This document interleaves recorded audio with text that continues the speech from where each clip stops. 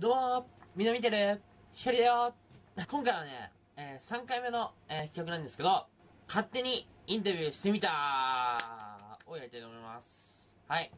えっとね滑舌よく、はい、ゆっくり話していきたいと思います。はい。すいませんね。では今回、えー僕が勝手にインタビューさせていただく方はこちらの方です。どうも、巨人です。はい、どうも、巨人さんですね。えー JDHTV というね、チャンネルの出演者の方ですね。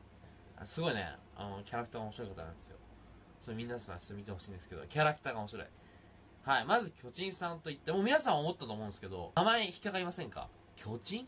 まあ、中国人の方の名前とかでは全然普通なのかもしれないですけど、まあ日本人からしたらね、ちょっと違和感ありますよね。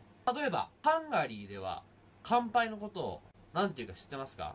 ねあれですよねあれ、ああ言うんですけど、まあ、そんな感じですよね。日本語ではおかしいけど、海外では別におかしくないっていう言葉があって、それと一緒だと思うんですけど、もしかしたら、巨人さんの、あっちの方は、どんなもんなんですか？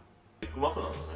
ギガビッグマック。ああ、ああ、すうん、すごい例えですね。素敵やん。そんなギガビッグマックの巨人さんに、ハンバーガーのハンバーグのところを、うんこに変えた、うんこバーガーを送りたいと思います。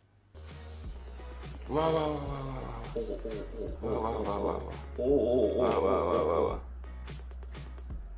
おおピクルスの量も多いね。いや、ピクルスかよ。じゃあ食べるよ。重い。まず重い。すごい。いや、重さですかいや、臭さとかじゃなくて、重さが気になるんですね。重量。重量が。いくよ。10巻の一言。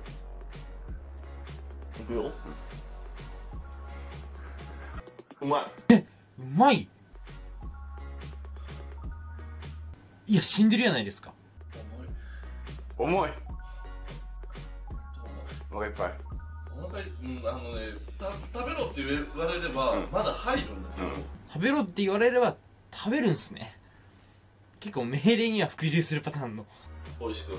あじゃあこの葉っぱもちゃんといただきますね。美味しくいただきました、うん、重い。じゃあそれですね。皆さんえっ、ともし売ってたらぜひチャレンジしてみてください。絶対売ってないっすか？うん。売ってないと思います。美味しいんすか？美味しいです。美味しいですが覚悟を持って食べてください。空腹時に食べるのがおすすめです。それではまた。ありがとうございました、えー今回インタビューさせていただいたのは、えーうんこ大好き巨人さんでした。ありがとうございました